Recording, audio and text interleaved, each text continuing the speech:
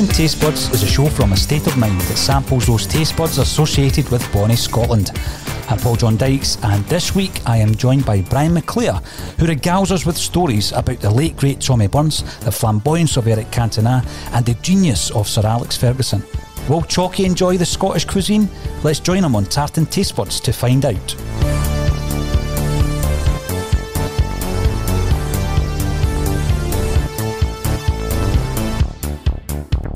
Uh, before we get into the first dish, what do you think of the uh, Rolling Stones esque logo? I'm very impressed with it. It's um, it's something that I used to draw. Not the tartan, the one like that one, but something I used to draw because I've always loved the Rolling Stones. In fact, it was, something I considered uh, as a tattoo until I uh, saw there was a, a, rugby player came and trained with us at, at, Celtic for a couple of days and went as a Scottish international. And um, I noticed, it, which I thought was a bit of dirt just on his leg. And I was about to say, excuse me, you've got a bit of, and then it, it was a little, little tiny Rolling Stones logo. Right. I thought, he's stolen it, can't, can't have that. And I've been, I've been uh, struggling to think of something to get a tattoo with ever since. Then. And you've never had one since? No, you've never, never had one at all. No, you've never done it. No. I'm the same. When you look at that though, it's meant to have the Scottish tinge. But I've got to say, in terms of the beard, Brian, it's not as impressive as the one you have on display. Candy, that's. Uh, I would like it to be that colour right enough rather than the colour that I've got. No, no, I wouldn't actually. I'd like it mine to be a lot more silver. Maybe that'll come eventually. Yeah, uh, absolutely. That's part of the thing about uh, not being able to get anything cut and then just leaving it to see what happens as an experiment my mother actually asked me if I was um, if I was considering auditioning for the part of Jesus Christ when she saw me for the first time a few weeks ago. It's a good look. It's a good look. I like the Peaky Blinders cap as well.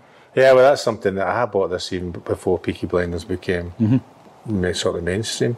Were you a fan? Um, of, of Peaky Blinders or the hat? Both. oh, I think Peaky Blinders is a fine it's immense. program. Yeah. It's really yeah, good, isn't I mean, it? It's uh, well written, well acted. Um, having spent a, a year in Birmingham also and several other periods on holiday in my, as a child, the accents are very good. And difficult to pull off? No, not if you're there, they're not really. Now, if you spend a year there and all that, I'm not going to have a go at that. Because you usually get, well, that's a Liverpool accent you're doing, or you can't even do a decent Scottish accent, never mind attempt to do uh, Black Country. So I love that Birmingham link because that's obviously where your career started. But when we speak about football, we'll do it after we've given you something to eat. Okay? Well, that's very, very kind of you.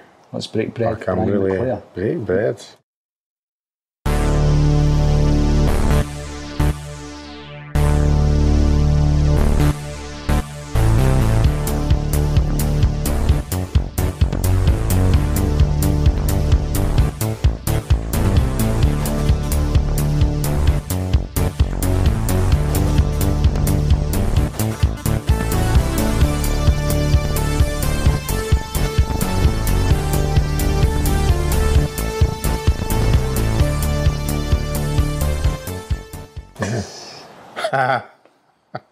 I know you like at least one of these.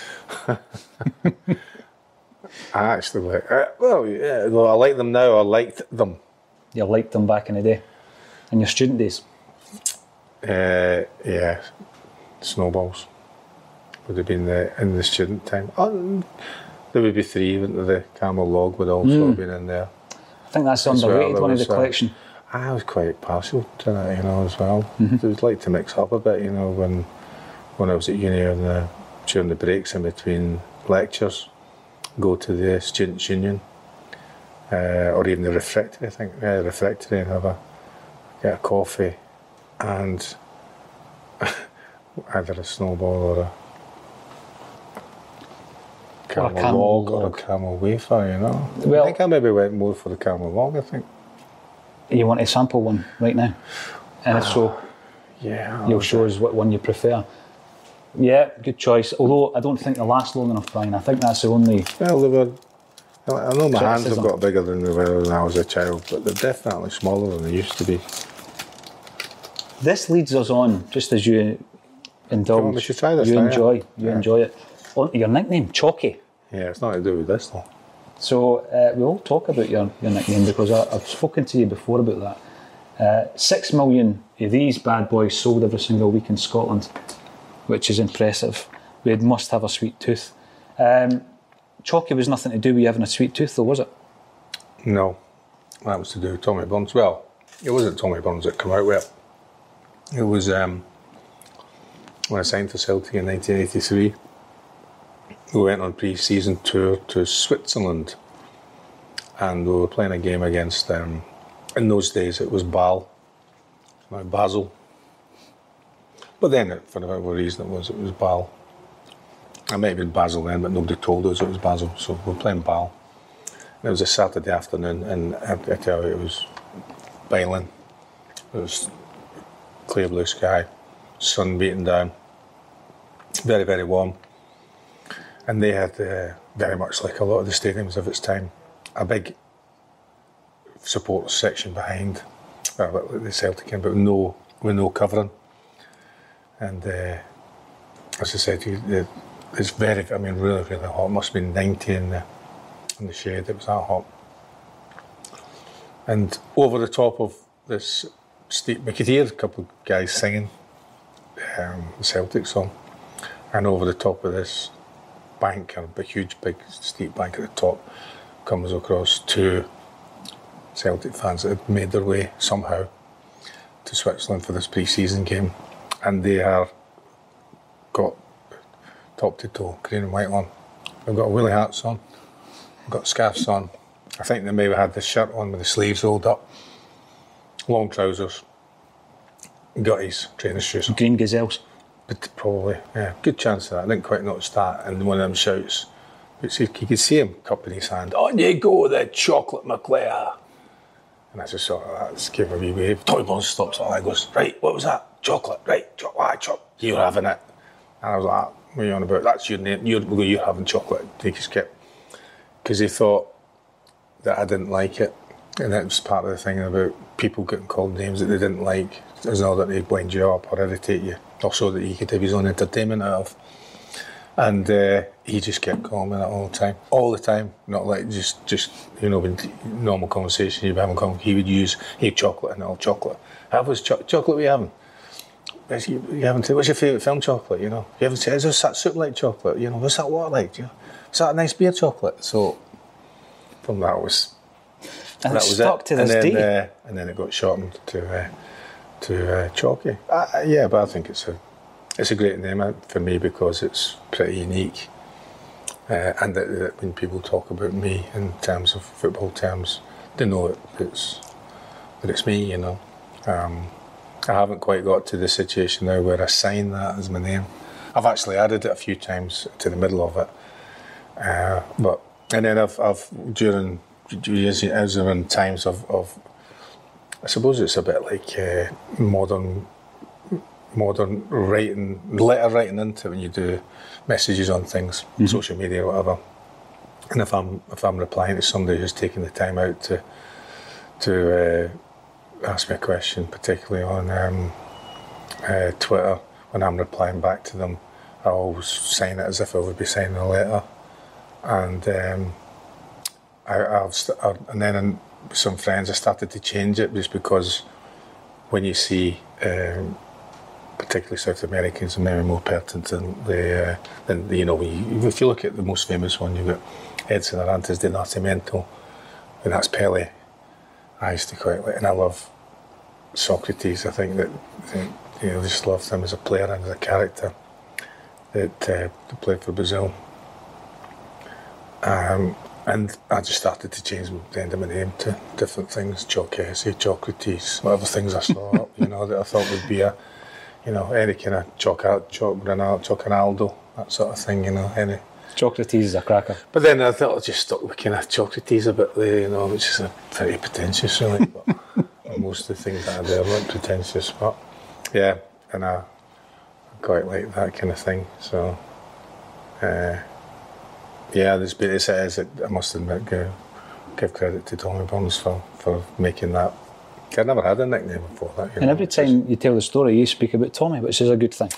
We remember Aye, well, Tommy he Burns. was, he was a great influence, and certainly the time that I was there, you know, Tommy was 27 when I would be 19, you know, and uh, great influence, always positive, um, al- always encouraging, you know, and uh, one of the, the nicest things that I've I've ever come across of a comment, if it was indeed a comment about me as a football player, that uh, Tommy was allegedly said that that uh, I think that Dalglish and me were the two best players he'd played with, which for maybe Celtic player, I'm not quite sure. And I thought, "Hmm, I'm not sure if you're still taking the piss out of me or not, you know, by mentioning that, you know, but I'll take it as something that was positive, you know. Absolutely. I And mean, funny, he was, and he was funny. I mean, he, he, I don't know whether it's to do with um, the colour of your hair, but in my my football career, Tommy and uh, Gordon Strachan were two of the funniest, if not the two funniest, humorous footballers I've ever, and quick, you know. Imagine the that two of picking together. up on that. Oh well, there's a, there's a, there's a story that uh, about when the two together at Celtic where that uh, Gordon's the manager and Tommy's uh, is I don't know what position was he assistant was He was- I first team he was a coach, coach, yeah. first team coach. He was first team coach isn't he? And uh, Gordon's at Celtic Park and he's standing at the halfway line just outside of the dugout. Uh, and it's not going quite so well for, for his team for the Celtic team in that day. And, and Gordon's one thinking about how he could change it to, to, to um, improve the performance whatever. And there's a few cheers a few different things. And there's always the saying it's very very vociferous that bit the people that sit behind that because I remember in my time when I was playing and sometimes when I was sub how how the noise that a few people can make and you can hear everything they're saying particularly when it's negative. So Gordon's getting a pelters. And, and Tommy used to stand at the other side I- I think really to be saying well I'm, I'm not the manager anymore I'm just part of the the furniture really I'm a bit of the wallpaper here but I'm, I'm here at the end as and then leaning on the he's leaning on the dugout at the end. So he's Gordon's getting pelters. Crowd are getting uh, agitated. The team's not performing like Gordon's one. He's, he's thinking about what it was, and he catches Tommy Burns out the corner of his eye, slowly walking down.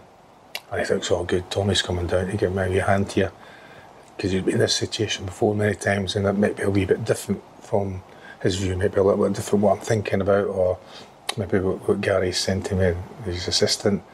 Oh, that's good. He's come. That's that's good. That you know, he's coming down. He's walking down to me, and I'm just I'm standing there and I'm waiting for him just for his um, words of wisdom that's going to help us uh, win this game of football. And he, he stands beside me and he cups his hand over his mouth and he goes, "I know where the trap door is," and then walked away. and everybody watching thinks he's just offered some words of wisdom. Gordon's Brilliant. like. How can uh, I? How am I not supposed? Eh, to, Gordon wants to laugh because it's a serious situation with regards to what's happening on the pitch. And he's just like, what's he supposed to do with that? He just wanders away, chuckling away to himself as he, he returns to the other end of the dugout. That, that stuff's priceless, isn't it? Dearly missed. You mentioned about being a sub. One thing I always look at is the 1985 Scottish Cup final, 100th Scottish Cup final, Yeah. and you're on the bench, you come on. Obviously, you make an impact, Brian, but why didn't you start that game? You have to ask David Hay that. It's bizarre, eh? It's bizarre. Now, I know Celtic had a great forward line, great forwards, but surely the man who was a top goal scorer for four seasons that you were at Parkhead, Ah, well, I used to get left out all the time, so it wasn't really that much of a surprise to me, you know. So um, it's more about the, you know, you, you, you just have to, things like that happen, and to, to be part of it, you're still a part of it. And then I come on and we, we, we, would struggled. Um, Dundee United were a fine side at that time, and they were controlling the game, and they were winning the game. And we probably we probably stole it, I think, really in terms of, of the game. But goals change games, and, and Davies and Frank's goals are the ones that they end up um, winning the trophy for. So it's kind of dramatic things, aren't they? I mean, they're really dramatic that, and also the other, the winning situation for me. But it's the thing you just asked that question because I had a dream last night about about uh, being part of in a Cel- in a Celtic dressing room playing a game at Celtic Park. And David Hay's, a manager, and I've gone to speak to a couple of friends that I've not seen. This maybe something to do with being locked up for so long, but a couple of friends I've not seen for a while. And with and I go back towards the dressing room and he's pointing to his watch and he comes over and I go, oh, I'm sorry, I got a bit carried away and lost track of time.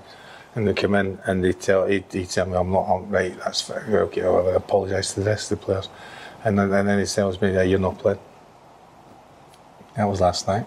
Just last night? Right. Is it because this was on your mind nothing and you knew I was going to ask you no, about Davy? Nothing to do with this at all. It's just, I just started, started myself when I woke up. So that's pretty bizarre, you know. And then it was, you know, it's bad enough dreaming about Alex Ferguson all the time. Now dreaming about David Hay, you know. Creeping into your dreams. But you did have a f- tremendous performance, Love Street 86. Every time I think about that, Brian, it's an iconic day. The strips, the result, the hairstyles, everything about that day. what do you remember about it?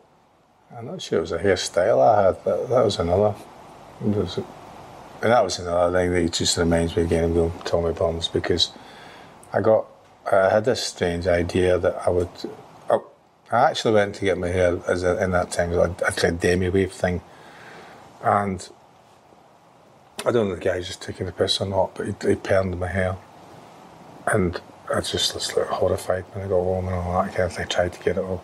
Nowadays you'd be able to use straighteners or whatever else and various different hair products to get it straight, but you just it s- just sprung back into this thing. And Tommy Burns been ripping the piss out of me right for all that time. I just, I just, I need to just, I, unless I get it, a skinhead or number one, I'm just going to have to endure this. So I just let it grow, and uh, I just let it grow. And it glow, as it got through into the summer months, been quite long. It started getting lighter as well. I don't know. It's because of the, I don't know. It's because of the shit I had in my hair as well as the sun, which might have been sun, or might not have been. And then it got longer. Tommy Burns would come into the dressing room, and, he'd- and I used to sit in this little corner here, and there's a, a wall here, and the door was at the other side of the wall. And Tommy would come in, and he'd, look, he'd turn around the corner, and he'd go, "Rah!" and then go and sit down. It, that was every day for that, that period of time. So, uh, yeah, the hairstyle, the the game. Well, for me, it started weeks before that because we got to a situation where we had to win. We had to win every game, and we started off on that run. And when we went to Pittodrie and beat Aberdeen one 0 I think we felt that we've got a very good chance of, of actually pulling this off now because we never won it. Not in a not in the league anyway. We never won at Pittodrie. I don't think I, I've never won there in the league. So I think there's a real lift from, from winning that game. Because again, they were a very good team and had a, a wonderful home record. A good win, uh, 1 0, and then we went on to get to the situation where it's the last day of the season. Uh, we've got St Mirren. We know what we have to do. We have to win by two clear goals, and we know that Hearts have to lose. Or the other way around, Dundee have to win against us. Well, not a lot of people might not realise is that the Dundee team, who were managed by Archie Knox, had the chance that year of qualifying for Europe. So there was something in it it Yeah. for them as well. So there was no like dead rubber for them. And uh, contrary to what people might say about uh, St Mirren, they did they, they didn't capitulate before the game started. We had one of the finest performances that I've ever been involved in, particularly in that first 35 minutes, including one of the best goals that I've ever been involved in. Uh, as a as a start to finish situation. When we got to to uh, to the point where we're well, you're five 0 up. You know that, that you we've done what we need to do, and we- we've got to be reliant on on what happens elsewhere. And then in those days, people would have your transistor, oh, your tranny transistor radio, little, all holding it to their ears. You know, not everyone, but well, people been crowded around other people to listen to what was occurring. Um, on uh, in the game at uh, at Dens Park, which both games are back and forward. uh, between um, Dens Park and and, and uh, Love Street, and uh, there was a dampening kind of thing because it came over that, that Kidd had scored. So most people thought that that uh, Kidd of Hearts had scored, Mm-hmm. and then it, it very quickly because you did some. I, remember, I know Hugh Keevins was doing one of the games. I don't know if he was at Love Street or he was at. Jimmy Sanderson would have been doing the, the other stuff as well. Chick Young maybe. And uh, there was a thing we were about. It's uh, Albert Kidd scored, and so there was a. And the strange thing about that was that because it was um, Jim Stewart was in goals that day for for something, and Campbell Money had was poorly before the game. So Jim Stewart, ex Rangers goalkeepers in Scotland and Rangers, and uh, he's got the ball in his hands. He's got actually got the ball in hands when everybody. He's just like he's looking at his face was like an incredible thing, and then. Um, you're getting a flag was because their game was was going on, and then they got a abroad again that uh, uh, Albert Kidd scored a second goal, and then there's that little delay because their game finished after ours. But when they're two, you're two 0 up, one 0 you're that little period of think you're thinking, oh, Hearts because they've been so effective all year. They, they scored lots of goals, played some great Strong football side. Strong, football. strong side. would, would would get a chance or something like that. John Robertson, Sandy Clark, John Colquhoun, and uh, but they, they, they didn't quite make it, um, and we ended up as as, as champions, uh, which is a great to be champions. Winning things is what one of the reasons why I want to be a professional football player. Winning in those circumstances will make it even more special and such a great memory for all the people who who were there. There was two hundred and thirty nine thousand at the game. And, and rising. And rising. Yeah. Francis McGarvey, your old strike partner, he told me that uh, because the sub goalie didn't expect to play, he'd eaten two of the pies that had been sitting in the dressing room. Uh, so, not the perfect pre match. What kind of pre match meal would you have normally had, Brian? Would it have been something sweet, sugar filled? No, no. Pre-match, I used to have uh, certainly the home games. Um, I would, yeah, certainly the home games. From the home games, pre-match for me was uh, triple decker, uh, bacon and egg sandwich with tomato sauce and a cup of coffee. Pre match, that would be uh, about. You're supposed to talk about eating three hours before, maybe get away with two hours before carbohydrates and things like that. If you look at it, it was, I had some carbohydrate in the in the bread, maybe a bit of sugar and stuff in the tomato sauce. Um, the rest of it, I'm not quite sure about. But a bit of protein in the egg, and uh, but that would have been so we'd we had to report. We had to be in the ground for for three o'clock kickoff. We did there for quarter to 2 So that would have been like one o'clock. So I'm right on the border of what you're supposed to be eating. Then triple decker, bacon and egg sandwich. Didn't it do you any harm, Brian? No, no, not at all. Yeah, it, uh, I don't think it, on the day of the game what you actually eat. It's not that. It's about all the preparation you do, um, and stuff that you do the night before. Make sure you get rest. Make sure you're, you're free feeling, as they call it now Aye. plenty of carbohydrates the night before. So I don't think. I mean, if you watch the game and how and how well Celtic played that day, and the goals that were scored, I think you could. Jim was culpable for any of the goals at all. They were all. So he, he could have had no pies, or he could have had another dozen. We can't pies. blame the I pies. don't think it would have been. Can't blame the pies, no. And I said that, that he, people suggested that all the rest of the St Mirren players had had plenty of pies as well, but they tried hard that day. They just we were, uh, uh, we were top form. Magnificent. Top. I mean, that goal you, you describe, McGrain, McStay, McClair, it was just one of the finest goals.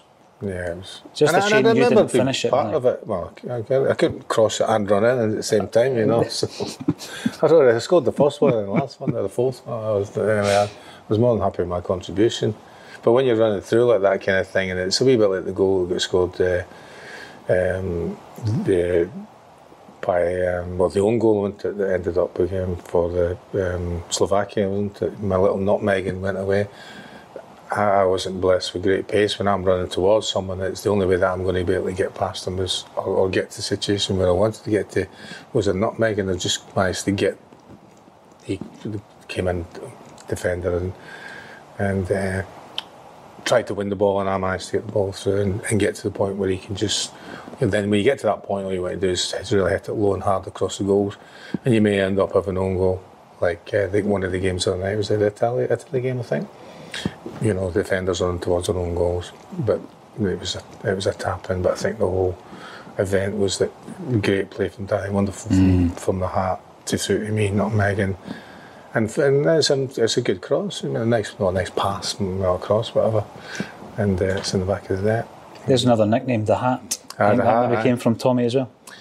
I didn't, I didn't know that. Well, there was two parts to the hat, you because it was the hat, and it was then le chapeau, which is the hat in French, you know. so I think the le chapeau was Tommy. I think Tommy Burns called Paul le chapeau. Is that because he, he used to speak French when he had a few sherbets? Tommy, or Paul. no, I think it was because his hair looked, his head looked like a hat, didn't it? So that mean the thing, it looked like a. His hair looked like a hat. Brilliant. It didn't never move. I think that was that may have been Tommy. I don't know. That could, have been his brother. Because his brother called him that as well. They couldn't call him Paul. And uh-huh. there's like Le Chapeau, which is I just thought that was wonderful. Another great, just another great nickname into him. I just wonder too. And everybody knows again the same kind of thing. There's no misunderstanding about Paul's come from a from a, football family that have, have represented uh, Celtic in various different forms, you know. But he's the hat. He's the Hat. How good was he, Brian? Could, Ah, he, could he have played in any company? Aye. Yeah, I think he could have. He, he was a wonderful football player, great temperament. And considering that he had exercise induced asthma, he did ever so well. I was like, exercise? How can you have exercise induced asthma? He had to take his puffer before the game. Strange that, you know, an athlete. Aye. Wow. He developed he developed exercise induced asthma. That, when I was at Celtic in 80, 84, 85, something like that. And he continued realise on to, to, to play at such a, a top level. He was a great football player and a, and a, a cracking lad. Mm-hmm. Right, The maestro. lad, The maestro. You ready for another dish? Yes, indeed. I thought that was it. Let's do it. I thought that was it.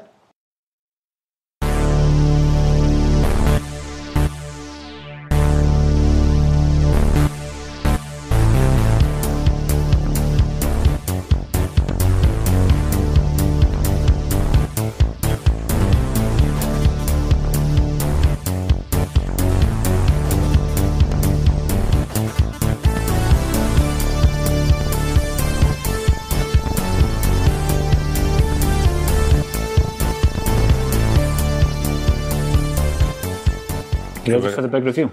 Big review. We're playing it safe. First couple of dishes Safe. are safe. It is what it looks like. What, Tizer? And um, I can smell it from here. Iron brew, isn't it? Is it iron brew? It is.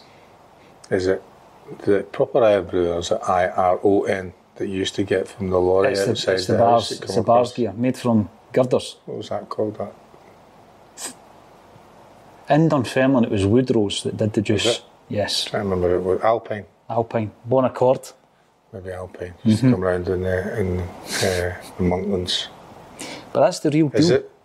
Oh, is this original? It's the real deal. Original. Hmm. Oh wow. And out of a bottle. I don't know if that makes any difference to the Ah taste. yeah. Usually when I was drinking out of a bottle, there was saliva in it as well because I used to share it.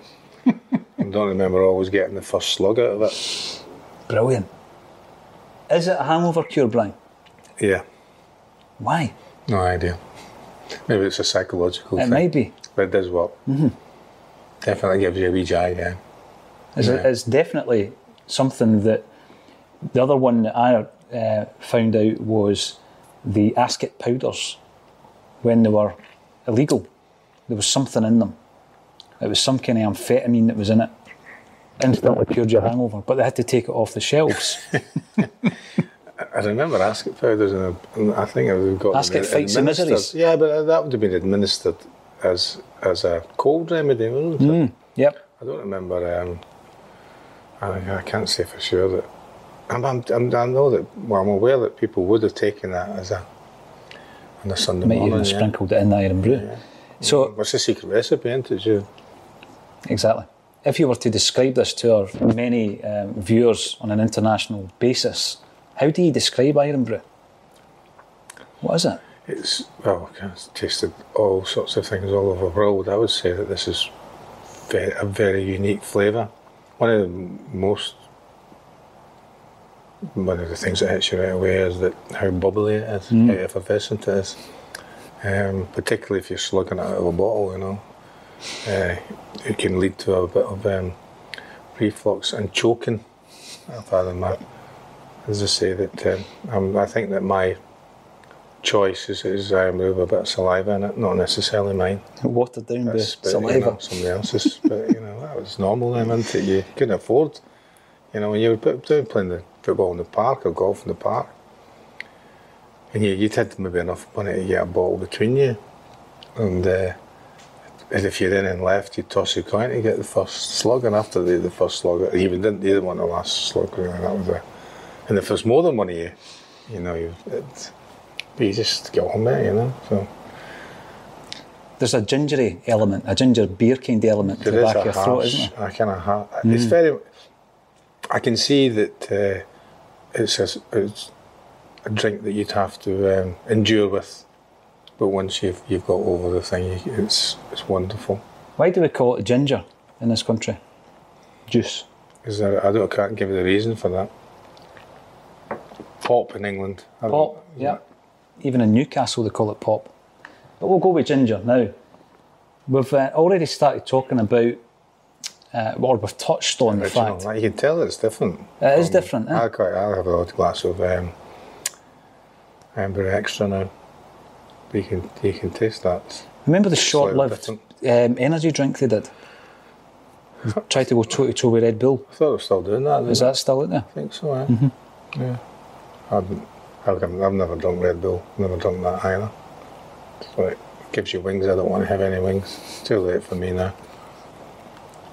No, I know that um, Paul Gascoigne um, was was hammering down bottles of bottles, sorry, cans of, of Red Bull before he played a game for Middlesbrough when Brian Robson was the manager. And they must have had six or seven or eight. And it, is it is it full of caffeine? Red Bull? Yep. So and uh, he went on. They went on the pitch, and he was like, a, I think they described him as a like a um, a whirling top. You know that toy. Press the button and it spins round. He said he was kicked off, and he was way over there, and he was away over there, and he was away over there, and he was away over there, and away over there, and away over there. He was everywhere for about twenty minutes. And I think Rob was at the side trying to shout on him, and he just looked at me, had this mad stare in his eyes, and this mad, like, kind of, and sh- shaking all over the place, shaking, proper shaking. And uh, Rob, Rob, Rob took him off because he was, he thought he's, he's going to get sent off in this game because he was so, whatever it was that was in, so caffeine poisoning. with, with eight tins of uh, Something ridiculous the amount, yeah, that he just get. I don't. I, I assume that they had it there as, as a little thing, something to give you a, a little boost. Although I've had heard that there's there's been something about caffeine and, and uh, being used with um, sports teams as a a way of, of increasing their um, ability to run about. you know. Enhance I, that. I'm not sure if I had Irn-Bru with my. Well, I Irn-Bru sometimes with my, my bacon and egg sandwiches. Your So pre-match? It may have happened that way. It's bringing back the memories, Brian. You're um, And it's about the bubbles seem to last longer. I know. As well. straight out of the bottle, Ah, it's beautiful. and you're you're the first Really consumer of said bottle. I can see why people are paying. It's like, is it twice the price or something for a bottle of it? Or is it a fiver or something like that for a bottle? Aye. I can see why you It was that as exchanging a- hands. As a, um, as a um, treat. Scotland's national drink. I think it was 20 pence a bottle. And you got money back, didn't you? you did, aye. It was twenty pence you got back, wasn't it? 20 pence you got back. Yep. So, Remember it well. Clink, clink. Here's the bottle. Tink is what you used to hear. used to go run around looking for them sometimes. Aye, exactly. Scotland, your Scottish career. Um, everybody at the moment is talking about Scotland back in the finals of a major tournament, Brian. You played in 1992. 1990, was it a big disappointment for you? Yeah, you it was disappointing. Aye. Um, you're involved in. Yeah, when you, you uh, for me, I'm walking to school as a 13, 14, 15 year old, and I used to daydream. Um, the- the- there's people who have got degrees now in, in uh, professional sport who have got have given it a different name, and they're, they're calling it visualisation. So they seem to think that's an, a wonderful thing if Wayne Rooney turns around and says he lies there in his bed in the night before the game, finds out what kit he's going to wear, and, they, and he falls asleep thinking about what, wearing the kit and what, how he's going to score a goal. We did that forever in Scotland because there was not a lot really else to do, you know. So when you were walking to school in the rain, and I was visualising, well, daydreaming that uh, you you would do be a professional football player, you know. And you wanted to play. For me, I wanted to play for Celtic. I wanted to play for Scotland, and also I, I- Manchester United was a team that I liked as a as a kid because you were allowed to have an English team as well. Uh, so they'd actually to realise that, and and you and because the first time I'd watched colour television was the 1974 World Cup. So I, from what I can remember, that yeah, the first time I actually sat down with somebody on a colour television in Scotland or in a group that was full of color You know, because we had Zaire and we had Brazil, and uh, just the whole thing was. So I, I would be nine, eight, nine, was it? Ten, I think. Ten. Um, but that was part of the, your dream to play for for Scotland. And I, and, I, and I did that many times and I was involved in loads of situations. But when you're involved in that, you just get the next. When you're involved all the way through, uh, it's the last thing you expect not to be involved in the finals. Uh, but that happened to me. Um, but when I, when I reflect on it, it was probably something I did or didn't do. I don't blame um, Andy Roxburgh, who was a coach at the time. Um, 'cause he, he, he decided he wanted to go with a group of players. Uh, I just had to accept that. At that moment, you're, you're, you're thinking, well, if I'm not going to the World Cup, then then I won't play for, play for Scotland again. But I was I was involved in the post World Cup and uh, in the qualifying for for a major championship in Sweden, uh, which at this time I went along to. So uh, I, I'm good. I'm glad that uh, when you when I'm when I'm considering those kind of things and how you probably felt at that time to uh, to uh, spit your dummy out, I suppose, and just can't where he put his team and all that kind of thing. That I didn't I didn't do that. I kind of glad I maintained a kind of dignified silence about it because I think it benefited me. And Definitely. I'm not so sure it benefited Scotland, but it certainly benefited me because going to the Euros and playing the Euros, although we only managed to win one game, I think that the three performances were were really good. I don't, don't think we were. I mean, we lost one 0 for a late goal. Mm-hmm. A phenomenal uh, goal. Yeah, Yeah. it was well against uh, the Dutch and then we played the unified Germany. So they they've gone from having a, a huge, uh, but also a really a big population and great players to choose from, hadn't it? In fact, they're they're probably our best player in that team was was Sammer, who came from the old East Germany, and uh, I think we played pretty well. Although we lost that game, and we managed to beat the CIS, who were who were Russia, included um, who was my roommate at the time, Andrei Kanchelskis. So it was it was a great tournament. We had, we had, we had a really good spirit amongst all of us, having spent such a long time together. And I think we we, we, we did pretty well. It's a great crop of players. When you look at you know the 1990, even the 86 squad, the 90 squad, the 92 squad, Brian. In terms of strikers that Scotland had at our disposal, it was quite frightening. Well, aye, yeah, there was. Uh, so, um, I didn't. I played in, in midfield in, in '82, so the the fact that I was um, adaptable, I could play badly anywhere, and I was quite happy to play badly anywhere. So What was the selection in numbers? that was down to the number of caps. Right. So McStay was number three, I think. There was a little anomaly though. Yeah. I think there was. I think because it, it well, it's a little. I think the goalkeeper. I think that. Um, I think um, for Alex Ferguson had done it in in uh, in oh, 86, I think. Maybe didn't. Maybe Andy did it in ninety. But it was down to the number of caps she'd won.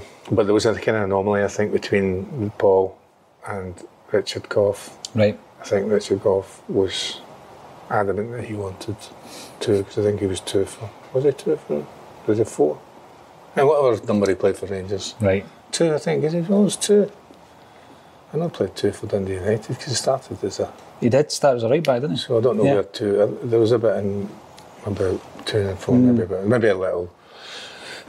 excuse me, this debate between them, and I don't think that that, that Paul was that bothered really, you know. So The hat just took it. You mentioned Kanchelskis here, roommates. I always think, you know, when you're on tournaments like that or even away games, is there a lot of downtime, Brian, and do you get bored? How do you fill that time? yeah, well, Pat and I uh, played a lot of Scrabble, an awful lot of Scrabble.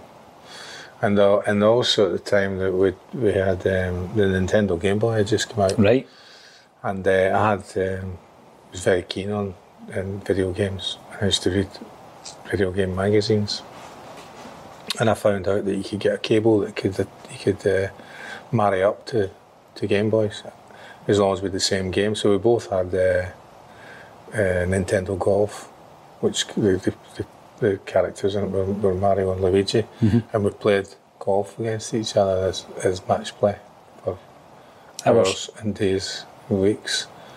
Um, and so that's that's one of the things that we, we did. And talk nonsense to each other about life, universe and everything, you know. So Right, so who wins a game of Scrabble between Brian McClair and Pat Nevin? Oh, I think a lot of the games were very close and highly contested. I think he probably made up more words than I did. Um, and part part is more um, learned in uh, lexicography than I am. I'm more of a, a scientist and a mathematician. Uh, so I It was mathematics you studied, wasn't it? Yeah, that was maths. That Mm-hmm. was more. But again, it, it, if you look back on things and you ask anyone, it's all down to inspirational teaching. And uh, mine was mainly mine, mine were mainly maths and science orientated. Mm-hmm. So I think that's probably why I became pretty interested in, in those subjects.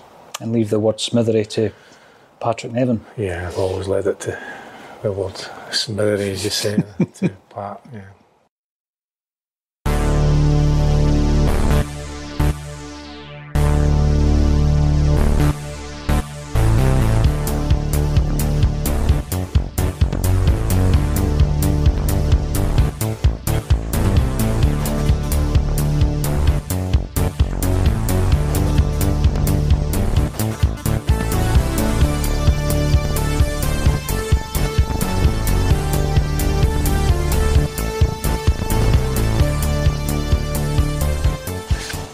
Brian, dish number three. Let's do this. Apprehensive, excited.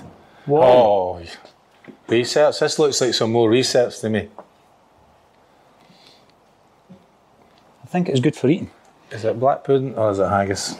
It think it's haggis. the haggis. And the first question I would ask, Brian, you're not vegetarian, are you? Nope. If you were to have haggis, would it be in chippy form or the, the traditional Rabbie Burns style? No, it would be in chippy form.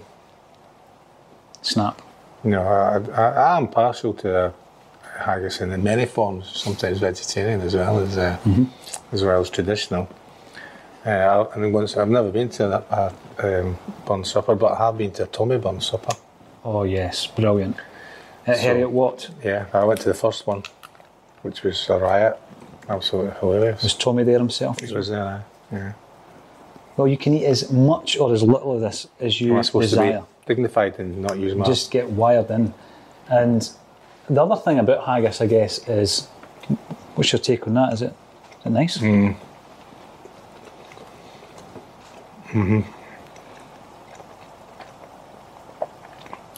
I thought you maybe managed to sneak in some kind of confectionery in the middle of that. I was expecting a wee bit of a. Oh, you managed to get somebody to make you a, deep fried haggis with some chocolate inside it. But, Not yet. Not traditional. yet. We could ask for that, especially for Choccy. uh, And just while you're indulging, um, we've touched on music a wee bit. I know you're a big fan of music. You were looking at our wall of vinyl earlier, Brian. You're drinking out a Roses mug. You're friendly with Mani of the Stone Roses, the legendary Mani. Is that a Pokes t-shirt? That is on. Talk to us about your music. Eclectic? No. No? Everybody else might say that. For me, it's normal. Well, people might say at times that I'm abnormal, but I think I'm normal and everybody else is abnormal. Um, it's quite a broad church when it comes to music, but I've always liked. I like guitar bands, I think, and but I've always like all sorts of different things. Um, when I was when I first started buying records, some of the time because you didn't have the same information available to you now with regards to, you know. So I, as I said to you earlier, I was you got this little device in your house you can shout at and it plays you songs. So you can hear things, and or you can if you're watching a film and you hear a, a decent tune, you can there's an app you can use and it'll tell you what the song is and all that, and then it'll take you straight It's too to easy now. I know it's a doddle. So when I saw a lot of times when I was going to buy things, not so much singles, but maybe albums, I would buy it because I liked the album cover. Mm-hmm. So that there was, you know, so I'll look at that and go, oh, okay, like, I'll try and read a wee bit about it. And you might have information in NME, different bands. So sometimes I would buy albums because I like to. So I've, I've got, um, I think it's called Stump by James on vinyl that I bought because I liked the album cover. That's been lost, O'Brien, isn't it? That whole package thing where the artwork. it? Yeah. yeah. Oh. Lyrics inside, wow. Sometimes pictures inside or posters. Mm-hmm. Loved that. What, what, what records? What records? Um, what record labels it on? Who else is on that? Uh, so I had, uh, I've got it changes in different things. You go back to things. I've always liked music from the '60s, I think, but I love a lot of stuff from the '70s as well, and different genres. Um, I don't stick to the same thing, although I'm not, I can't kind of get into, I've tried to kind of, I made an effort to try and really listen to jazz, I can't quite get. Mm-hmm. Liam, my son's doing a podcast, I just started to think about doing a podcast, and him and his mate will listen to Miles Davis. I know it's what it's well, amazing stuff, and it's you know, what they're doing is incredible. I, I just can't, It's not for you. just can't get, just can't, can't get. it. I can't get it at the moment, you know. So, Does your son get his love of music through yourself? oh, he's Did he immerse himself in the tunes you were listening to as he mm-hmm. was growing up? Might have any choice. When you're driving three and a half miles, three and a half hours, four hours from Manchester, depending on toilet stops, from Manchester, sorry, Cheshire, back to the Monklands, you have to listen to what your parents listen to. I haven't got their own little um, Walkmans and all that. There's no DVD things hanging on the back of the um, seats. Now. They Exactly. can all just get hot wired into or iPads and all that. No choice. Does he thank you now though? Because I, I, think mean, they probably would. I there's, let's say the music line about the house. There's loads of CDs Oh, and good. all that. Yeah. I wouldn't let them touch the vinyl. Couldn't trust them. But they could play the CDs and all that kind of thing. Mm-hmm. Um, so yeah, I think it, I think most people would be. Mine's is that we didn't really have we didn't have a record player for a long time, and then you- in the different ways that it affects people. Um, I was I was with my, my brother Paul the other day, who's four years younger than me. We used to share a room, and he hates some music because of of songs because I used to play them, and uh, in the uh, in the old uh, fashioned way of repeat, where you put a seven single on, and you just just go round, keep going up, back and start and start again. And being the oldest one, he had no choice, but I, I had to get out of the room. It was very not one other place to go, particularly if it's raining. So he uh, and I don't, he even answered the question about it. I don't know why, because the, the one the song he's talking about is um, "I Want You to Want Me" by Cheap Trick. For some reason, that's was on repeat all the time. I have no idea why I bought it why. I don't know whether if he even knew at the time that he hated it. Maybe that was one of the why I kept I kept doing it because you can be cruel to your siblings at times. But it, now it drives him to he just like Does it- can't listen. He had to it trigger run. Aye, just to run up and picked it off from where I heard it. Usually calling this on at the weekend. Guy, Big Brothers. Music therapy, Brian. Well, I probably thought it was, but he hated it. Were you ever musical yourself? Your son plays a guitar, doesn't he? Yeah, because I think that in any kind of discipline that you do or you can do that people can do, there's a certain thing that you sometimes need to have, which I put down to genetics. I don't believe in talent. I, I believe in hard work, mm-hmm. like what everybody does. So Liam, we, Liam was we, was interested because there was stuff in the house. There was a piano in the house. There was a keyboard in the house, and he started to, to, to mess about on that on, on himself. So we were in a position where the three of them, the two girls and him, were were were had the opportunity to to to try different things. They- They played badminton. There were badminton lessons, were tennis lessons, were horse riding. Liam had a couple of golf lessons. They were, they were bought as a present from someone else. Just they can all swim. The girls went to ballet and tap and things like that. And Liam started just having this. He started composing stuff on the piano on his own mm-hmm. when he was mm-hmm. about 15, things like that. So then, because he's interested in that, he gets a guitar, and then he, he, he gets he would take him to, to rock guitar lessons.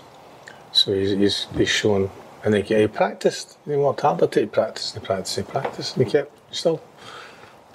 People are good at things are good at it because of practice.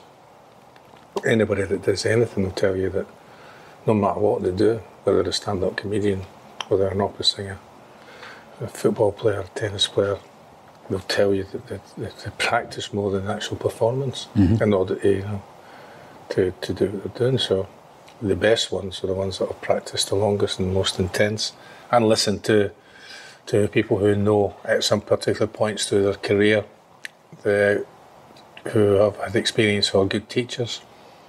Uh, and then that's what it is. I never had to, I always loved I would love to have done it, but I didn't have to. I didn't. I didn't uh, uh, want to sit down and spend the time learning how to play the guitar. Because you would want to do it well. and Yeah, I'd like to do it well, and tens I of want to go thousands into of that hours. thing. Uh, and it does. It takes to get Yeah. to good, to get the good as end. It does take ten thousand hours. That's no question about that. It takes ten thousand hours. Mm-hmm. I had another ten thousand hours. I seen recently that the bold Liam had uh, Eric Cantona, your ex-teammate, in one of his videos. Is that something you would consider, Brian? Would you be in a music video? Depends who it was. Liam? No. Liam Gallagher. Yeah. No. No. I like to choose. I wouldn't choose Liam. I'll go. I'll be in Liam's. Good. I wouldn't be in those. Not knows. You'll be able to tell me the facts. Um, Manchester United released a song. I think it was an FA Cup final song. And was it with Status Quo? Yeah. Come on, your Reds. Were you Yeah. part of that? Oh yeah. I was. Now, you're a music aficionado, you're a fan, and that song itself, where does it rank amongst the great football songs? The great pantheon of football songs. I think it because it's really it's a status quo song, isn't? That so if you, it's a, it's a status quo song. It's their signature. It's all their music, musical stuff. It's Rick. You know, it's it's them playing, and they're actually doing it. So they're the only playing. We just had we just turned up to record and make a video. So it's just it's a status quo song, and it, it's a formula that worked very very well. You know, there's that old joke into about somebody saying to Francis Rossi, um, you're not a bit um, annoyed when people say you're a, a three chord band, and he goes, I'm not, I'm never annoyed about that. He says because we actually we're only a two chord band. But they, they found a way, didn't they? And they found They a did. different way. They found a, a tune and found a huge amount of fans at a particular time. And I think they've got um, some some good songs. So it's a status quo song that, that we are involved in that did very well. Was it a good laugh? It was a great studio? laugh, yeah. yeah. and they were good. They were good lads as well. Was, yeah, we did we had a good time. and as you can see in the video, there's different people doing different things that would be aligned to what their personality was. So Sharpie's always been a one that likes the limelight, so he's quite That comes across it. prevalent in, in the video. I was hiding. I think I don't even know if I'm in the video because I was hiding most of the time. But You need to check that out. You were in Manchester at the right time when it came to music. I mean, you're drinking for a Stone Roses mug there. The whole Manchester movement. yeah, Some cracking bands. Was that? Were you into that at the time, Brian? I was in this. I, I was listening to Stone Roses before I went to Manchester, so I'd, I'd, that would be that CD time. So that then that, that the um, the car that I got had a CD player in it, and, and the Stone Roses album was was one of the ones that that I would be listening to um, when I first went down. But yeah, but it was I wasn't. I was never. Um, I didn't have so many opportunities to go to concerts because of, of football commitments, and uh, and I was never in the I was never in the hacienda, which although it would have been a great experience. Uh, I think it, there are occasions when I've heard people telling stories about it, the potential it might not have been a great experience, you know. So yeah, it was great, great buzzing. The whole place, as they say, it was buzzing. Football, for me, United started doing really, really well, and the music that went along with that was incredibly good. Brilliant.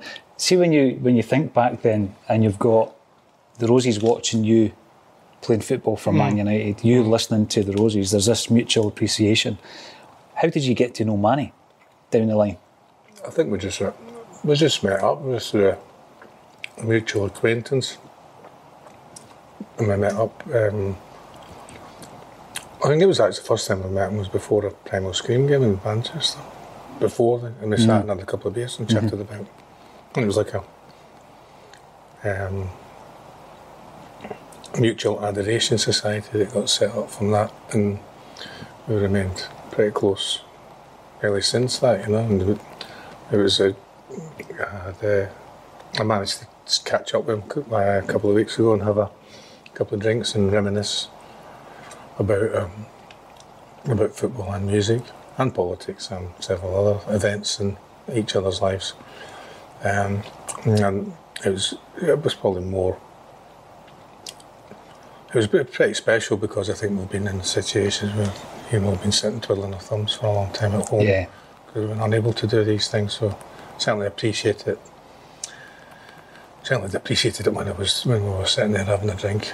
And then like because we're what a wonderful thing now about things that because the the age we're at now, it's nice to go out in the afternoon for a couple of hours.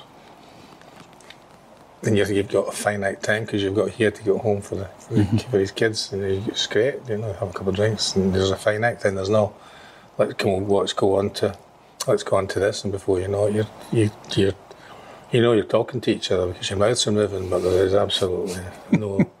not I'm saying there was any sense anyway, but you know you're inebriated. So that, that, I quite like now, but this early doors stuff. Yeah, like early, early doors, you know. Mm-hmm. I wouldn't want to be out now and watching games outside at eight o'clock No. because the time the game finishes, I just want to get back. So unless it was like a short stroll from where I live, I wouldn't be. I'm that interested in that. Nah, I don't blame you. Know, so. And then a lot of times, you know, now we're in a situation where there's no, no volume. Sometimes that's a benefit, isn't it? But you want to now. It's a benefit because you can do when you switch when you're watching football until recent. There's no crowd and those daft crowd noises and uh, anodyne commentators and um, and the experts. Some of them are good, some of them are not. Is you can just press mute and it's not going to make any difference to the experience. But and I know there's different ways of just having crowd noises and all that. But by the time the game when you try to do that, I'm thinking if I try to put that on, I'm going to miss a goal. So and then at half time forget. Is that uh, the, the, the, crowd makes a what a difference just hearing them sing, boo, uh, celebrate, sad. It, it's, it's the right, it is the, the appropriate time shouting the lines. Well, all those not in. Because uh, Clive Tildesley mentioned it the other night because he was he went into the, the little bunker that they had, and the person that was in this little bunker had some like eight or nine crowd noises. No idea at all about football and just try to trying to guess when they should be booing the decision or cheering or and if you watch through a lot of those games, you know, why are they doing that now? It's like no relevance to the mm-hmm. oh when it's clearly not anywhere near the goals. There was there was talking they, they always talk, so you have to talk because it lasts longer than cricket. But then it was it was the it was the, the scene of the cricket. It was like, is that a wicket there? And all and it because there was no thing about. This is what this is what we're talking about. Chocolate cake that they do a lot on the Test match special too. And it's a wicket for Anderson. That's him. That's six down now, and England looks as if they're going to to uh, go on to uh, to win the first Test against New Zealand.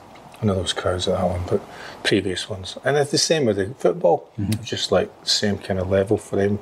And I think they find it difficult, you know. And also when you listen to stuff, a lot of the time that people say and all that amused me. Some of the daft things that come out, we're trying to explain things, you know. So um, I was like, I was like amused that uh, uh, James McFadden wasn't it, who was doing the, the expert commentary next to um, the Anyway, James is doing the bits he fill in about well this and that, and that, and he goes, well, you know, these and the commentator said that, that Scotland have been in the Euros twice and won one game, and they've got before they scored, and they've got a chance of being. Um, They've been in the, uh, the, the the first Scotland group to go into the next stage of a, of a, a major football competition. It's great. We were all hoping that. It's looking that be brilliant. That. And then he goes, yeah, and, and if they do that, this group of players could got a chance of going down as the best ever Scotland team. And I'm like, hold on a minute, that's a wee bit.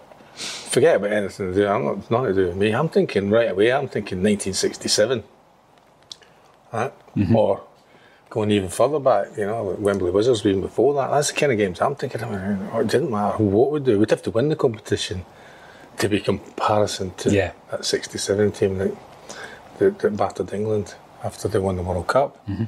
So, so um, sometimes it amuses me about. And another thing, the other thing was, lads, listen, I'm watching the England game. Is the, I think it was Jermaine Jenas, right? So, what you see and what you're listening to, what I'm watching, it's the same players.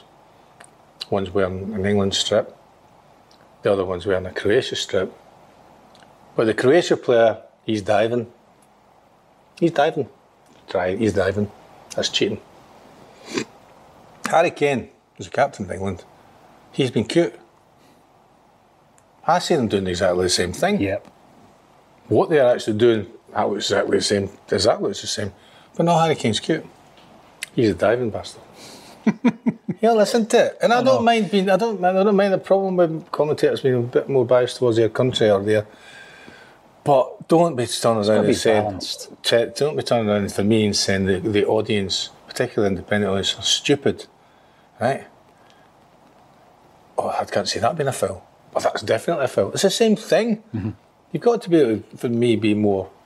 Ally McCoist's probably one of the best ones at that. He still say, you know, I think he's fairer. Mm-hmm.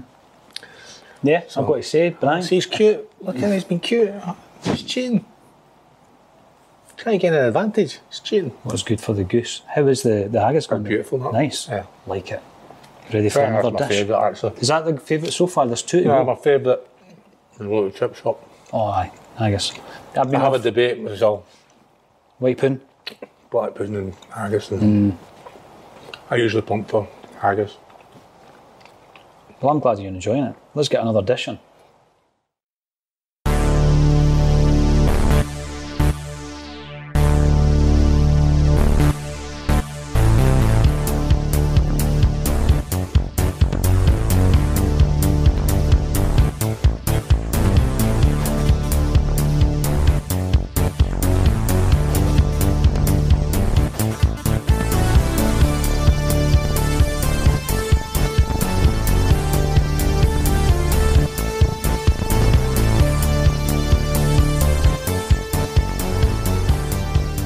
Dish number four. Chalky, let's do it.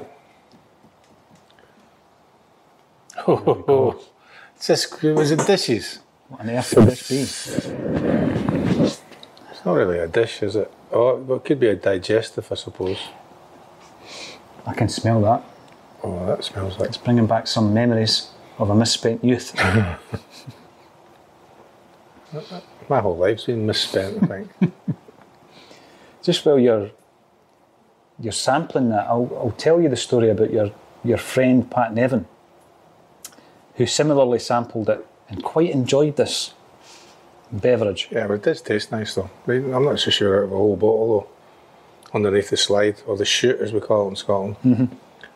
But yeah, as a, as a, a, a drink to have is a it is nice. Yeah, Yeah. I, I can't disagree with that. The, the monks did fall upon a very good formula for They did. for a tonic wine.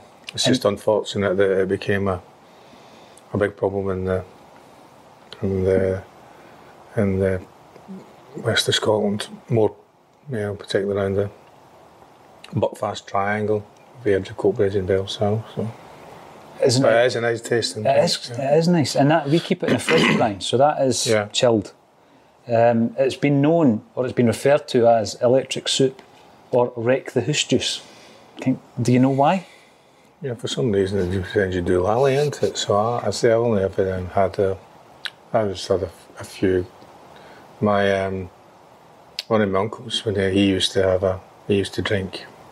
One of his drinks to go to the pub, he'd have a half, and his half was a buck, a glass of Buckfast. Brilliant. So he would sit there with a half a lager or a half a heavy, and uh, watch the racing on the telly, and uh, sip Buckfast. So it's a, it, it, it's a lovely taste. Um, If ingested properly. yeah, well, and I can understand if you're hammering down a bottle of it. It's uh, can be a, can be like you just said there. You know, so. I've heard some kind of myths, or maybe they're true, about Buckfast and the fact that there's a number on the bottom of the bottle, and depending on the number, um, it correlates with the potency of the bottle. Higher the number, I just thought the more of a dunt. I just thought it was all to do with the. You know, and I don't think when you look at the percentage of, al- of alcohol, it's that high it's in caffeine. comparison to. Is that what it is? I think it's the caffeine. And unfortunately, it's in a, a very heavy kind of glass bottle, which becomes a weapon. After a couple of bottles of the tonic, Brian McClair is drinking tonic wine at a State of Mind studio. yeah. Brilliant. Well, it's. Uh, it is nice to. I mean, I would say it's, it is It a nice tasting press. drink. To be saying that there was a a restaurant, a really nice restaurant that opened up in uh, Stockport a couple of years ago, uh, and he was one of these. Uh, well, notable chefs, a young notable chef, and then part of his, and they got a great review in the in the Sunday Times, a real like a four or five star review in the Sunday Times by one of these food critics, and one of his one of his ingredients and one of his dishes was buckfast, Brilliant. and uh, the guy mentioned the same sort of analogy that you had said, but in whatever he made it with, it, uh, and it enhanced the dish that he'd, he'd made with it, and the place was uh, booked out with for. You know, he, he, you got what he gave you. There was not a menu per se. Uh, but uh, I never managed to go. No, no, I still have to check, see if it's still open. I know we're uh, coming out of the twilight zone. But no, that is a lovely drink. Is there a kind of think of that. porty consistency? Do you Mm, There might be a porty taste to it. Eh? yeah, I can see why you would, you would think it was port if you hadn't tasted it before, but if you've tasted it before, quite clearly you know exactly what it is. You know and the colour exactly as well, you know, you, looked at, you know, if you wouldn't see very much if you're drinking out of the bottle. I wasn't, I wasn't party to any of that. I was uh, always busy at the weekend, so, and I wasn't allowed out. See, where the, with regards to the drink in the football, I know maybe not so much these days, but back in the 80s and 90s, it was part of being part of a team. There was a cam- camaraderie, there was drinking clubs. Um, and when you think back to your Man United days, Brian, did you come in at the tail end of that culture? Yeah, there was the. I think there's a different there's a different thing from from sense of culture to doing. Um, I think Alex Ferguson decided that there was a there was a group that uh, that, that, that weren't going to be educated, uh, and maybe also as well that that there's two parts. I think maybe I was thinking that maybe there was a wee bit too, too much of that as influence on other people with regards to saying, well, you need to be, able, you have to come out. You know, if you don't come out, you're um, you're a pussy. You know. But apart from that, I think there was some. There was another side to it, I think for me as well when you, when, when you uh, analyse it in, in depth is that Fergie was only interested in the, the number of times you were available to pull the shirt on. Mm-hmm. Most importantly, match day, and a number of the ones that that, that uh, were, were released around about that time, the number of ones that were involved, it would, would be say you would you would t- if you were talking about saying you would have a, a group of players and you would you would Gordon McQueen had already gone, but uh, Rob, Brian Robson was in that, that one with um, with Norman Whiteside Kevin Moran, and unfortunately Kevin was lived lived uh, not Kevin, sorry, Paul McGrath lived in the same kind of area as Norman, and and uh, he had a problem that, that people didn't realise, and that Norman was an Norman was an alcoholic, uh, not sorry Norman, Paul was a real chronic alcoholic and managed to have a wonderful football career despite the, the, these various different episodes with drinking.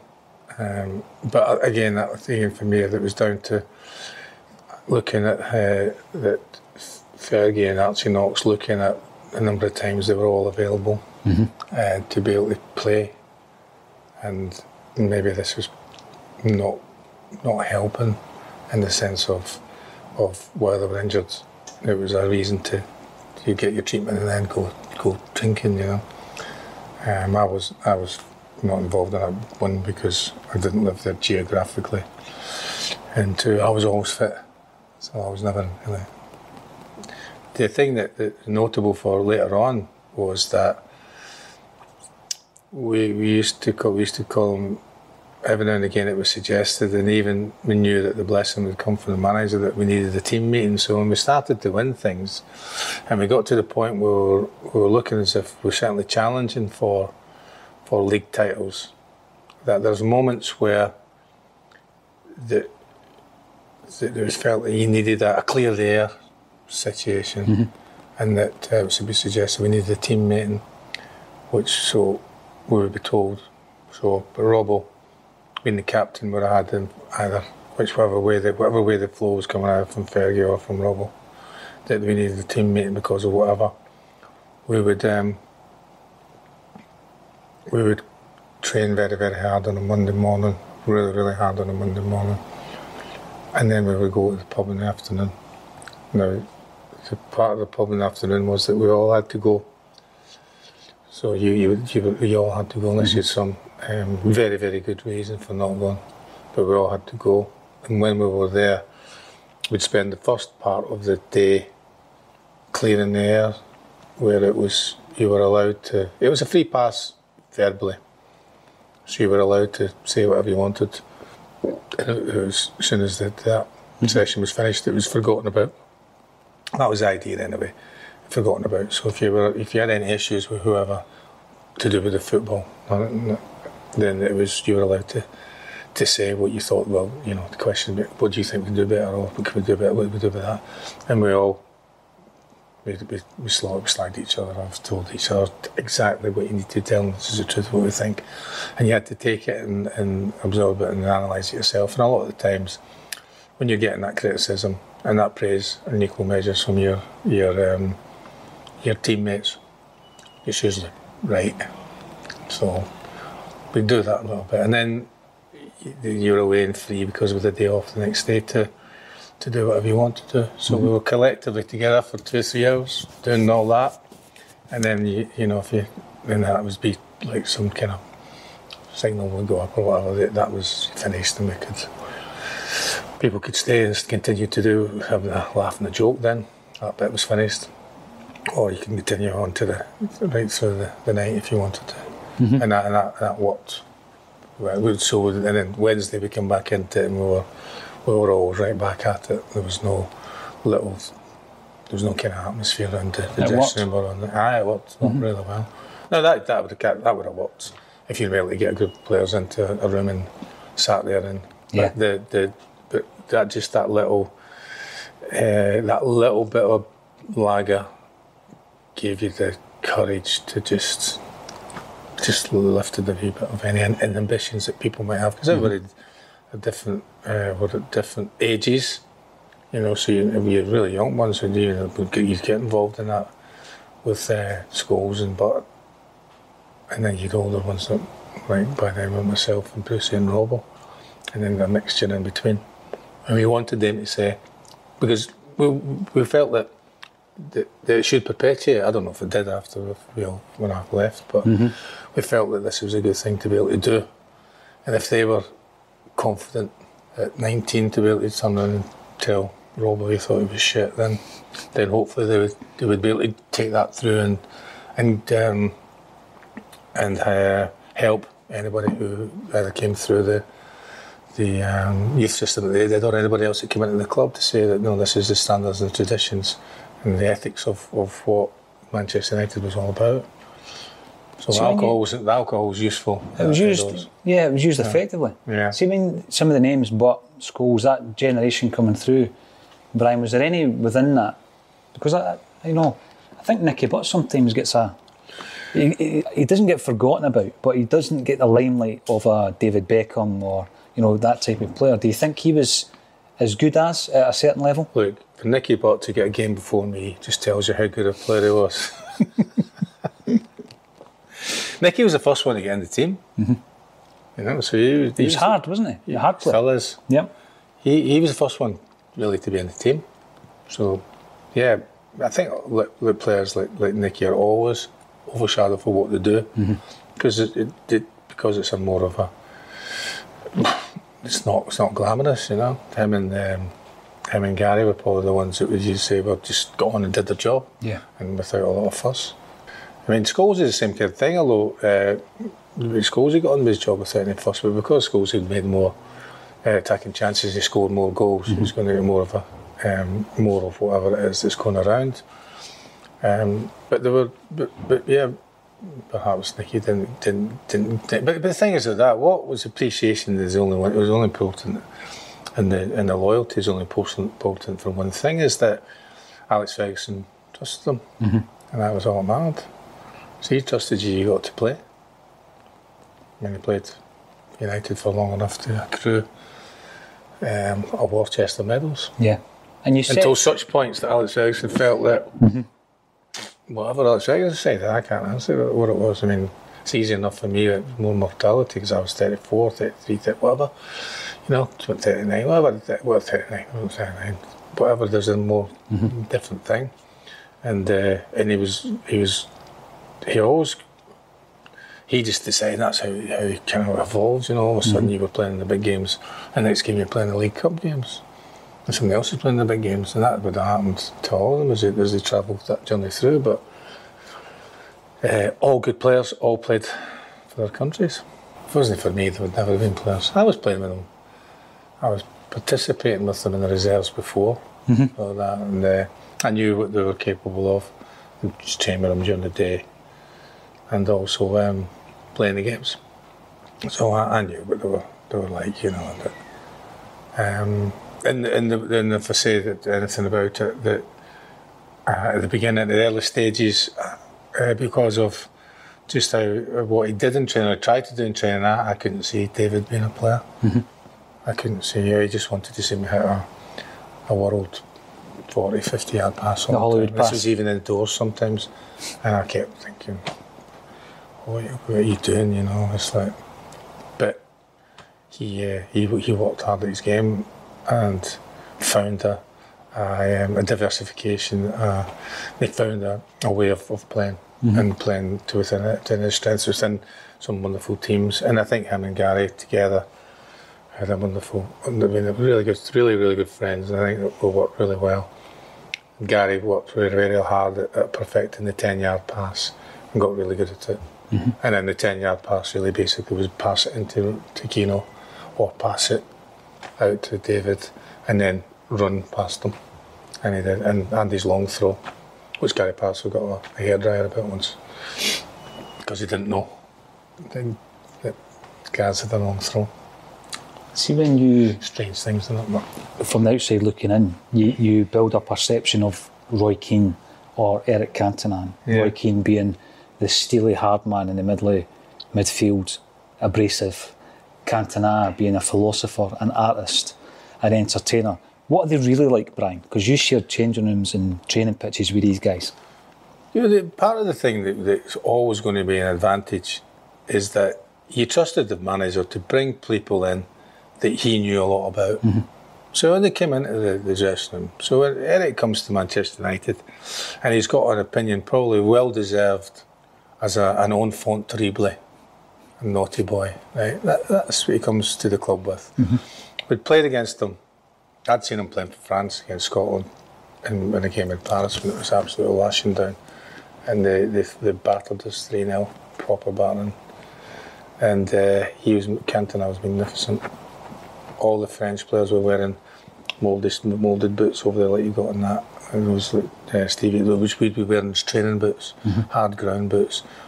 It was absolute torrential rain, and every single one of those players went out onto that field as for, for France with moulded boots, what we call them, or so hard ground boots. Mm-hmm. I mean, fuck, these were on their ass all the time. Just skated around the place. Roy Keane's, and without Roy Keane, sorry, Roy Aitken studs, without exaggerating, or that size. They just. Yep. It's one of the, he's just like, going like, oh my God, please don't put me on. And uh, so you trusted the manager. So when he, when he came in, Roy was great. Eric, Eric, first of all, Eric, first of all, was great. He, he wanted to, he was polite.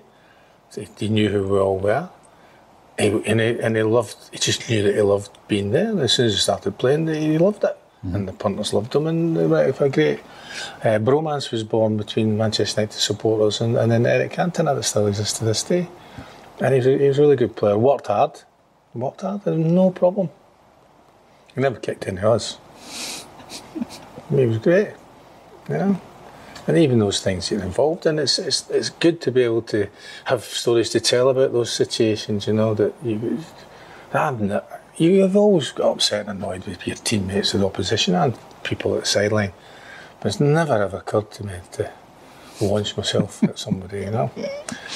And yeah, he did that because of, whatever, you know. And he had these different little things, whether it was really believed or not, that was part of his personality, the painting, it was painted by numbers, but it was still painting and a beautiful. It was a, a beautiful uh, field of, um, of of growing uh, hay or not hay, whatever it's called, barley. A beautiful barley. Looks like a. It looks like a. It looks like a Monet picture where he's standing in this field and he turns it round and it's painting by numbers. Three splashes of. And he gets away with it because he's Eric Cantona. Mm-hmm.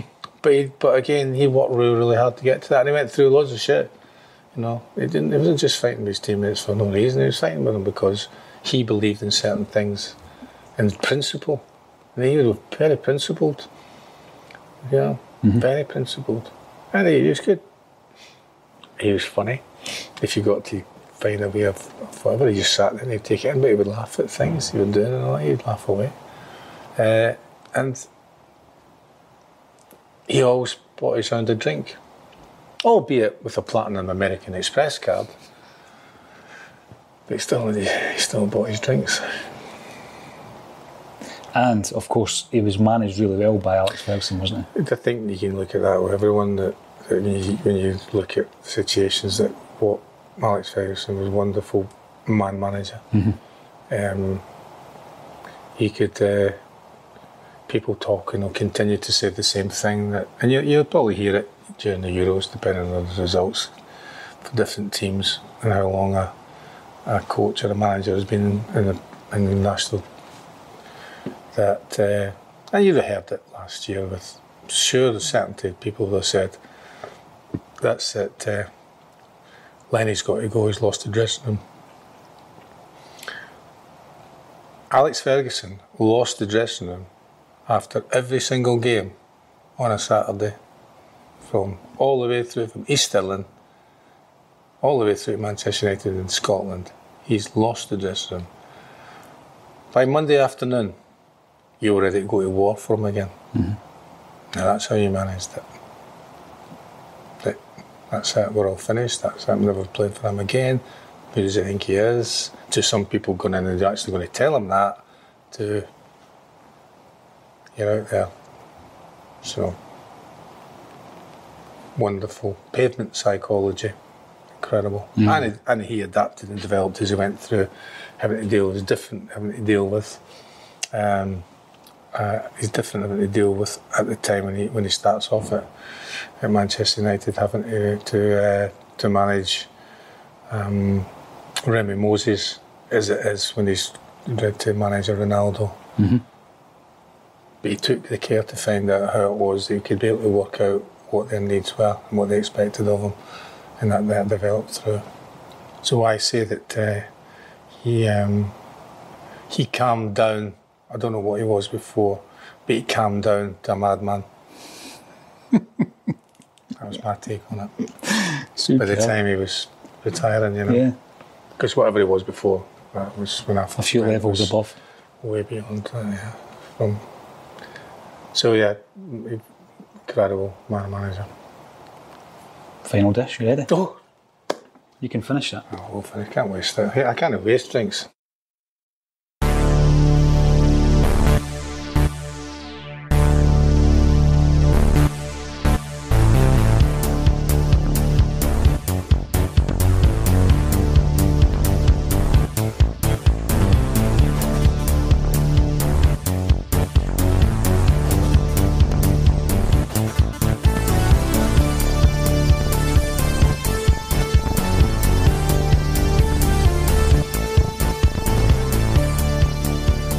Final dish, you ready for this one, Brian? We've had a wee bit of everything. This is the final dish. Uh, I've only ever had one of these before. Why are in? I've only had one, One. and that was when I was doing a bit for uh, a bit of filming in Glasgow. two years ago. All right, there we go. What do you think it is about Scotland? Well, when I say to people that uh, you get deep fried pizza, hmm? you just mentioned with cows even deep fried pizza, and you just fold it over, put it in the batter, and that seem normal to me. Hmm. You know, but they normal deep fried haggis. And then they say normal, it? Because you go into the chip shop and you see things that are already made. And then and you can't get, I, I prefer um, special fish. Mm-hmm. You can't get that in England. Right? There's not even any concept of it. Or any ones I've been in. So when you talk about like deep fried pizza and all that, I trying to work out at first of all how you get a pizza. just thinking about does the topping not just all fall off? so you're like, well, they fold it over and then they put it in the bar and then straight into the thing and it's all kind of sealed. And it's just that kind of crunch and all that kind of. Oh, ah, it's- You're selling it. This You're person here is a bit of genius, isn't it? It is a- so much it so that I was almost tempted to buy it. First time I saw it actually on sale. But the establishment wasn't open and it was in Singapore. Is that right? Wow. It's better than I thought it would be. It Aye. tastes like something. I would I would have that with ice cream. Chocolate. Yeah. It does taste better than it does. Yeah. Yeah. That, that was, I would say, it was only a couple of years after I I thought, I'm not really a, is that a Mars bar? I'm not really a fan of Mars bars. Anyway. A deep fried picnic now. Or a deep fried toffee crisp. toffee crisp. Yes. You can go in now, can't you? Mm-hmm. Anything you want. Some chip shops. Which you would, wouldn't you? Because you're making money out of whatever. Particularly in the difficulties we've had. Would you just fry that up for me? Know, 50 pence or a pound, I don't know what they charge. Oh, you would. I really like I always have it with. I might try toffee crisp. You'd have it with ice cream or Oh, definitely. As a is. So- pudding. as as a, whatever else it was, if it was a mistake or whatever way it happened, it's pretty genius. It works. in the sense of, well, if I'm just talking one place, if you're looking for a global sort of Mm-hmm. identity with something, it's always going to be Scotland, isn't it? In this place, and it wasn't. Not a chippy in, in Singapore. It was a restaurant. Right? And a, and a lovely little row of restaurants around a very beautiful part of Singapore. It was beautiful in, but and uh, it was, I was like, I took a picture of it. I don't know, maybe I have it somewhere. I've got it somewhere. I was like, He had oysters, mussels. There was a beautiful fish. What? Deep fried Mars bar. And it was, and it was a speciality. Mm-hmm. Now, these were special dishes. Oysters. I must ask me when they'll not got special orders. Deep fried Mars bar. Look at that. Brilliant. It's a delicacy. You know, you look at that, go, you know, there's no English dishes on this thing. It's a, somebody, you know, somebody's, it wasn't a Scottish dish, either. It was just wonderful. That's incredible. Whiskey, deep fried Mars bars. Superb. Go in the world. Irn-Bru. Irn-Bru, yes. And Buckfast, although not Scottish, certainly associated with areas of Scotland. Synonymous, yeah. Yeah, absolutely. Now, talk to me about your podcast, Brian. I remember speaking hmm. to you probably a couple of years ago now. So it was no surprise to me that you had a podcast. Surprise to me. Complete surprise to me. Is it? Yeah, I don't like talking to people. I don't like talking to people unless they ask me. But as you go back to talking about, you know, the words. If you so so Pat, we'll talk about Pat Nevin again, and uh, Pat's view of words is that he would rather use several paragraphs. Whereas I try to now, I would I would rather try to get down to one letter. So sometimes I'll be messaging people, text messages on a WhatsApp messages. I just write one letter, which I think is good. Sometimes I've no idea what I mean, but and emojis, ah, emojis are amazing Brilliant. things. Yeah. Wonderful. Not always be You can take the sting out of what you're saying as well. Not always be construed the same exactly way you might have thought it to be, but pictures of everyone else is. Um, so that I've always enjoyed. I've always enjoyed since I was asked going back to um, ninety, I think, to do this diary thing, and it allowed me to. Um, well, I said how difficult. We went to pre-season South Africa. When you start, I was always doing this anyway, observing what people doing and laughing at them. Same thing. I'm laughing at James McFadden. Is that I'm not laughing at Brucey and I'm laughing at Robbo and I'm laughing at people's interactions and like different scenarios. You know, when you know what Sparky was like when he was, was just uh, when he was uh, sitting at dinner. What Sparky was like after he's had a couple of beers and that. And how people, and I was like watching, and sometimes I just like to be entertained. I just wanted to have a laugh every day, or, often in my life. I just want to have a laugh every day, and just the joy of laughing and, and seeing something that's funny. Still have the same view. So when they asked me to do this thing, I thought, well, it'd be just bit boring. I'm just gonna, If it's just, it's going to be boring. If like it's boring, you know, that's why I mean, this, I used to give those answers out to those, to those things that, uh, in the shoot and the match and all that, that Mark, who does a podcast, did programs about. He did podcasts about. Mm-hmm. I did it. Pat did it. John Colquhoun did it about revisiting, re- revisit these questions from the. And he, he great, it was a, he was wonderful podcast. So there's different things about the diary. So I did the diary as a player. I left. I left, and then I came back as a coach. I came back as a coach, so, so they asked me to. And I was kind of read at different formats, and it's funny the, the things that develop. It's like, so sometimes I used to make stories up if I was a bit lost, stuck for stuff. And then when I started doing it as a coach, the players used to come and tell me. They would tell me, "Felt real, what's this one about me? Like, what's this one?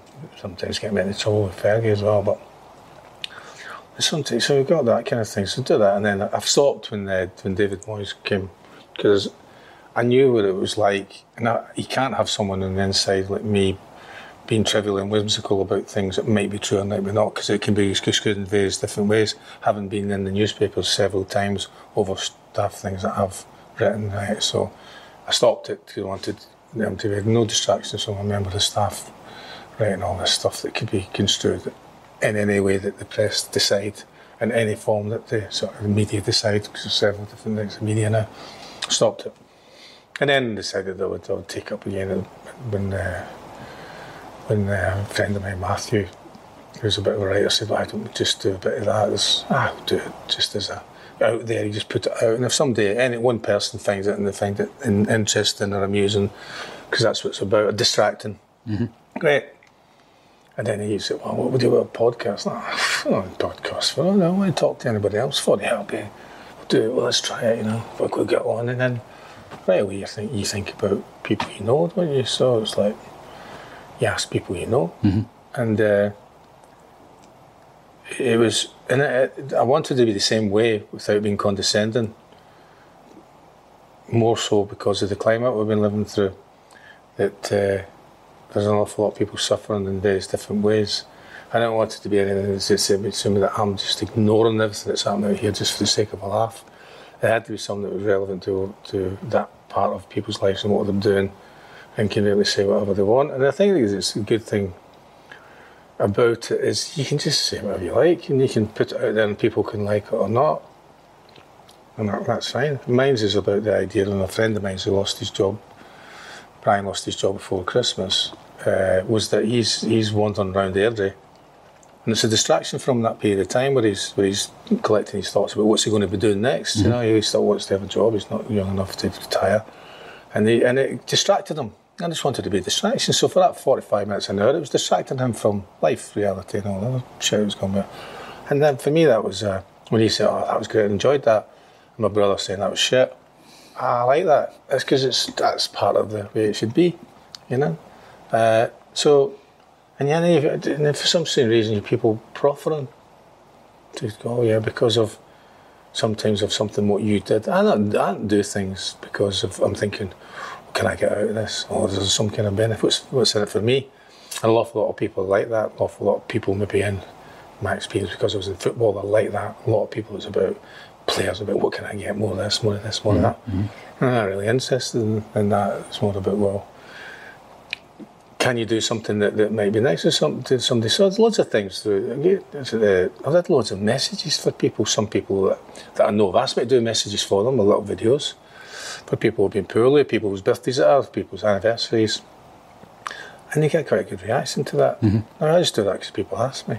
There's now people who are- have set up businesses, but more, more uh, particularly during lockdown. Yeah. And they're charging people. I, think, I feel embarrassed to think about somebody saying, because I was doing it anyway, I just, it's people really appreciative of it, you know, it's my uncle, my dad, my brother, my sister, daughter.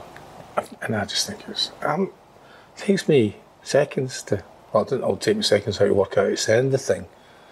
It takes me seconds to record it, because I found out on Instagram that it was not my thing. And I realised this, that because I've got a message on Instagram, I took the video on through the Instagram app and sent it to the guy, and the guy deleted it or poofed like that because that's what they do, don't they? They just disappear. Got a time limit on them. So then I'm going to try and work out. So then he, he wants to get it. He wants to wants. Can he send it by email? Well, I've only got one email address. I'm going to. I've, I've got to create another email address because you know because what you find is that people are really really interested in lots of collecting stuff. If you give them a postal Yeah. address, before you know it, you start getting. It's like it's like having um, it's like having an owl of Harry Potter, having your own owl. Please sign these 25 prints, Brian. You just, I know it's okay. It's not, but I've- one person said, if one person says to me, you want it, but ends up that I just, this owl keeps delivering these pictures. I, so I do send it send back. So I think about it along, those terms, but I just wanted it to be uh, enjoyable. People seem to enjoy it. I quite enjoy finding out about people that I don't really know to ask, try and get, doing similar things to you. I want to find some. You've got a, a brilliant little hook here, a little brilliant little theme that, that coaxes out maybe an odd story here and there that hopefully will, somebody will find interesting. So you hear something that you think, oh, that was brilliant, that, you know, like somebody comes out with something like, oh, that's, you know, because I don't know why it is. A lot of people, some people do like talking. Some do, and I I quite like the research as well, you know, mm-hmm. about mm-hmm. spending a little bit of time just what can I ask them, you know, what, what the reply might be. And some of the things are like, that's, that's wonderful. So Long may it continue. continue to do them Yeah. as long as my mate's got a job now, so I don't know if he'll want to listen to them anymore, unless he's got to go in the car. I'm not going to ask him if he's got to travel. Is the thing. So I might have inspired them, you know. Walk so the if that's dog. it, if I've inspired somebody to get a job, then I'll, I'll, it's been well worth, well worth it. So I would recommend it, and we'll put a link underneath the video as well, Brian. How have you enjoyed your Tartan Tastebuds oh, experience? Oh well, as I say, I think you've got a. It's it, it- part of the thing going through this. What you've just done there is almost as if a bit like that question. And you should never revisited. You should never looked at that. Let's just see what I wrote in those going back 30 years ago, where they're writing the shoot favourite food, favourite drink, Mm. favourite whatever else it is. But as a as an effort, as a, a tasting platter or platters, yeah, you've you've done very well. Yeah, it's a a very very good mix you've got, and I like the idea that you've you've presented the, the deep fried confectionery as a dessert, which probably is rather than anything else. Take that with you, or I'll finish it off. Brian McClair, thanks for joining us on Tartan Tastebuds.